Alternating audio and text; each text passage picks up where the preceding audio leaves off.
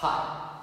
So, we finished the most basic formulation of the Ricardian model.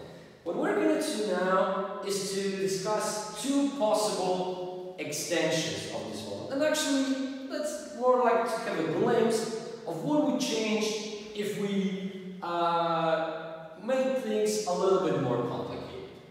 Okay, um, first extension we're gonna uh, discuss here is what if we would have more goods in this model. And look, if we would goods, uh, the, the, actually the model, uh, comparative advantage model with more goods, was actually developed by Dornbusch, Fischer, and Samuelson in 1977 in, the, in their paper about model with continuum of goods. And actually, it describes a pretty straightforward uh, uh, prediction of what will happen then. Okay, look, imagine we have two countries, A and B. And let's just say that this country has N sectors, capital N, producing, each sector producing a different good. Like, let's just say that I'm going to index those sectors by I. So this is good in a country 1, and a good 1, good 2, good 3,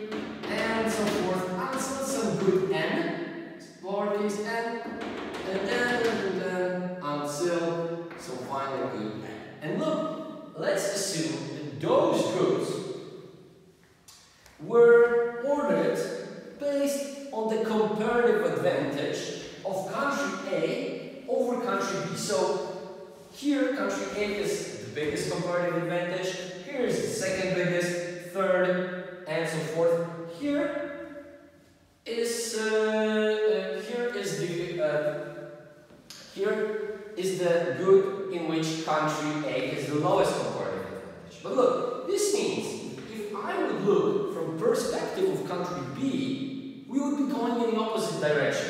Here country B has the greatest uh, comparative advantage, the less and less and less. And now within this setting, of course, here we have declining comparative advantage of A, here we have declining comparative advantage of B. Or here we have increasing comparative advantage of B, and here we have increasing comparative advantage of A. Look, in this setting, what I can do is I can find some good lying on this continuum, good xn, that will divide those two into two groups. Look, those goods will be exported of, this will be exports of country A, or there will be exports, eh, I'm sorry, imports of B. And similarly, here uh, we will see imports of A or exports of B. And now, see, uh, so basically, there will be a group of goods that country B has comparative advantage in, and here exported to A. And the same is here. Those are the goods where A has comparative advantage, they're exported to B. So, then we've got this good in the middle that depending on the specific circumstances can be traded or not traded. But as you will see, the extension of the model into a variety with more goods did not change that much. Simply, we see that there will be groups of exports, uh, export, exports, and, uh, uh, and uh, goods for exports and goods for imports. Now, the second possible extension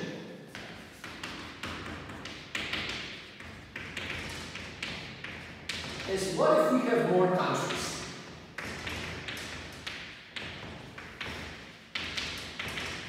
Okay, and this one, let's do an example of a case with just four countries. So, let's just say, again, we have chemicals here and food. And now we have some individual production possibility frontiers. First, we've got some country A, and we see that this country probably is going to have a very big competitive advantage in chemicals. Well, here is country D, which in this circumstance would definitely have comparative advantage in food. But let's also say we have two more countries. We've got country, uh, country like B,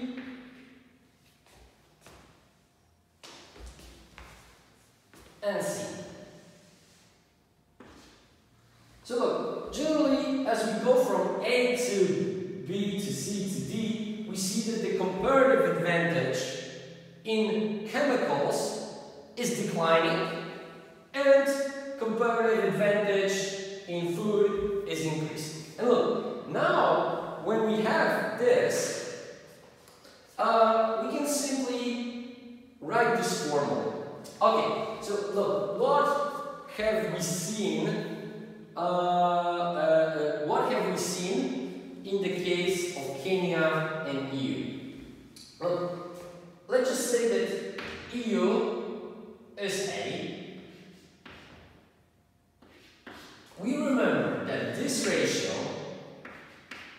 of E of uh, labor requirement in chemicals and in food was lower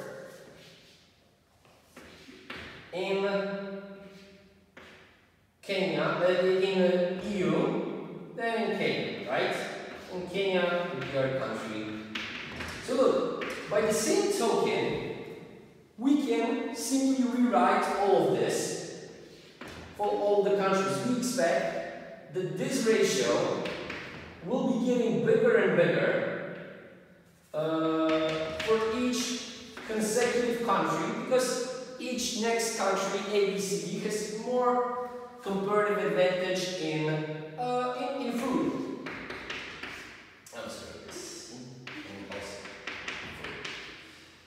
Now, to make things, okay, let me just stop for a moment. Look, now, what we're going to do is that we're going to count word production possibility frontier.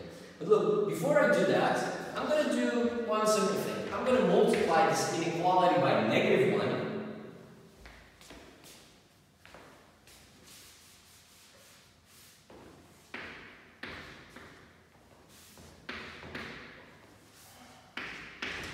And look, what we got here are the slopes of production possibility frontiers. And of course, this one is the biggest, which means is the least negative. So this one will be downward sloping, but still flat. And this will be steeper, steeper, and steeper. Knowing this, I can actually make world production possibility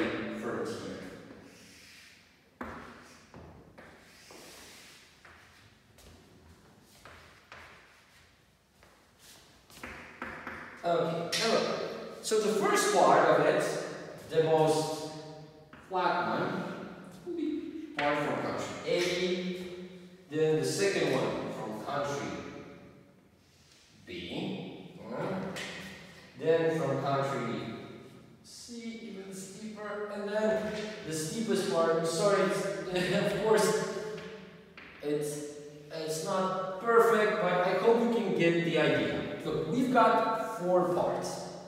And look, here we will have F max. So this is the maximum amount of food we could produce if all the countries would produce just food. And here is CH max.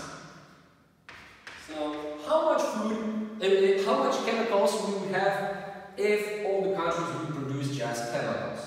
Now, what will the decide how much we produce? This we get from the ratio of prices.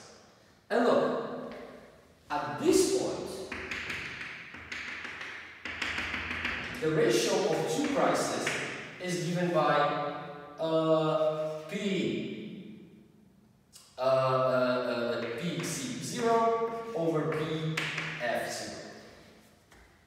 How much is, oh, remember, this is, like, at this point it's tangent, and what does it do? Look, if this is the ratio of prices of, of uh, chemicals to uh, food, it means that this ratio is somewhere between this angle and this angle. So this ratio must be somewhere here, in between those two. And look, what does it imply? It imply it implies that with this ratio of international prices, only the country A would be uh, only the country A uh, would be uh, producing uh, uh, would be producing chemicals. Well, other three countries would be just producing food. But now look, this happens if either price of chemicals go up or or and price of food go down. Look, if price of chemical goes up, this becomes bigger, right? Or if price of food goes down, this whole thing becomes bigger.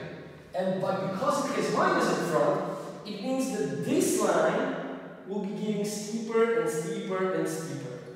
And let's just say that it has become so steep that we ended up in here, and now we have some negative PC1 over PF1.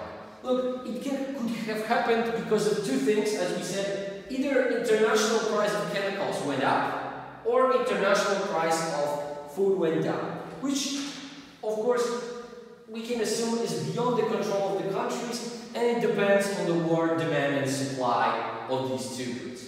And now look, what has what has this what, what has this caused? Look, internationally is now more profitable to produce uh, uh, uh, to produce chemicals.